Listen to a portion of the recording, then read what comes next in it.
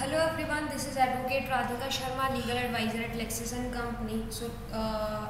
today we're going to discuss the Article 30 of our Indian Constitution,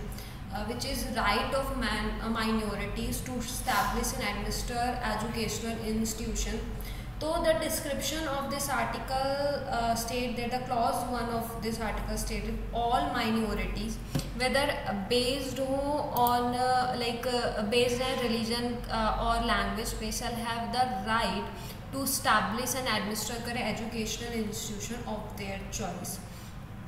and uh, like uh, making any law providing for the compulsory acquisition of any property of an educational institution established and administered by a minority referred जो कि है in clause one में the state shall ensure that the amount fixed by or determined under such law for the acquisition of such property is such as would not restrict or abrogate the right guaranteed under that clause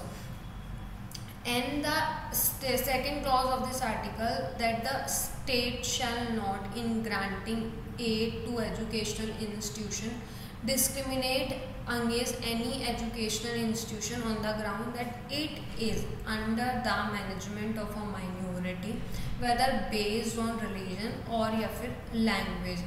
and ये जो article है thirty ये like institute हुआ था by the constitution like forty fourth amendment act nineteen seventy eight में so that's all for today will back soon with new legal ideas with new legal topics thank you for watching us